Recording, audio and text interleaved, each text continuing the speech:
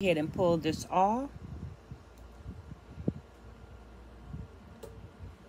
Sometimes it be kind of hot, y'all. Kind of hot. Hot, hot, hot, hot. And you definitely want to make sure you don't burn your hand on the rhinestones. Oh my gracious. Don't want to do it. Okay. So now we have Miss Shirley's shirt almost done, y'all. Almost done. I think it's coming out pretty. What do y'all think? I think it's coming out pretty. We have her name on here. Now, it's one more thing left to do. We're going to put on the back, subscribe.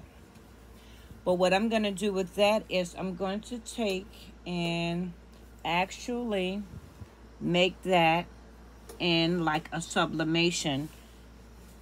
So what I'm going to do is I'm going to sublimate it on glitter vinyl. So I'm just basically making sure that I still have myself centered right. Remember that we made that line, that was our cheat.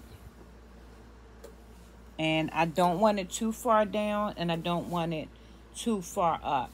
So basically, I'm going to find what I feel is a good spot. And then we're going to go from there. So, of course, you're reading this backwards, if you can see that. Let me make sure. Of course, you're reading this backwards because with sublimation, everything is always printed backwards.